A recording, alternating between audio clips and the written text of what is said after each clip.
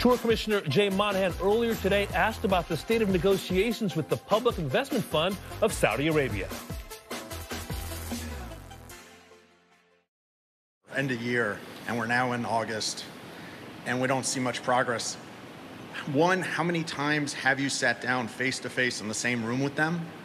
And can you explain why it's taking so much longer than you originally thought? I, I appreciate appreciate the question and I, and I understand the question. And I think the best way for, for me to respond to that um, is when you look at where we are right now, we're, we're in regular dialogue. We have the right people at the table with the right mindset.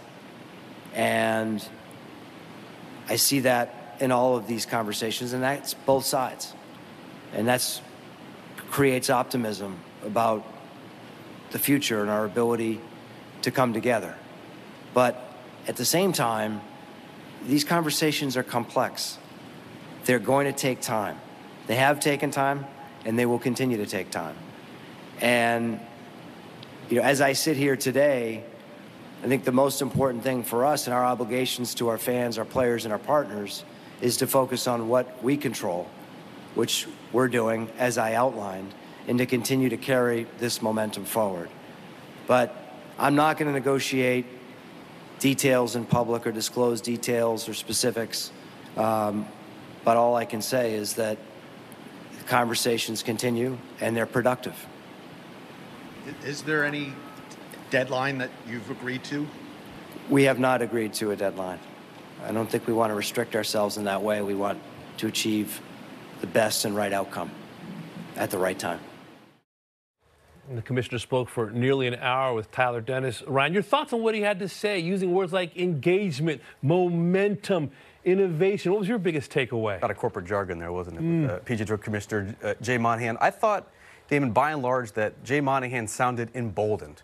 He talked about charging ahead, quote, on our own terms and focusing on what the PGA Tour could control. I didn't think it was any uh, sort of accident that the last thing that Jay Monahan talked about in his prepared remarks was the potential deal with the Saudi Public Investment Fund and him saying that he's uh, still, quote, hopeful of a positive outcome. There was so much talk about momentum and a lot of talk about innovation. But when you look at the PGA Tour schedule for 2025, by and large, it is going to look virtually identical yes. to what we had in 2024. And Jay Monahan even said in the future, that's likely to be the model as well. Keep in mind, when SSG was brought in here, there was a lot of grand ideas what the PGA Tour could look like with its short-term future. The modernized broadcast, a world tour, bringing all the best players in the world back together again. The idea of potentially like Formula One type events where the golf might even be secondary to all the other happenings uh, that are going on, different formats and innovations. I think as the PGA Tour as a whole, structurally, competitively, they're kind of in a holding pattern yeah. until golf civil war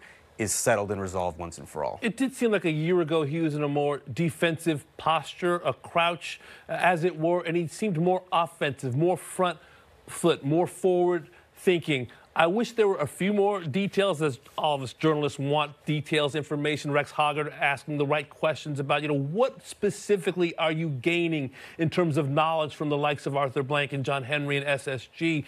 And, and, and Jay was a little bit vague about that. I would love to hear what the investment beyond the dollars, in terms of the technology, in terms of the information learned by being owners of the Red Sox and the Falcons, those types of things that maybe we can look at going forward. It, clearly, he feels in a different position position sitting here August 2024 than he did last year, potentially not being quite as defensive, whether it's, you know, some of these LIV players deals are going to be up at the end of the year, whether you're going to have TGL launching in early mm. 2025. He looked at the signature events model as very successful, even if some of the other metrics uh, didn't quite match up. And so I think there's a lot uh, for Jay Monahan to sort of hang his hat on, but you, you still wonder, you know, two, three, four years down the line, what is the PG Tour going to look like? We don't quite have that vision quite yet.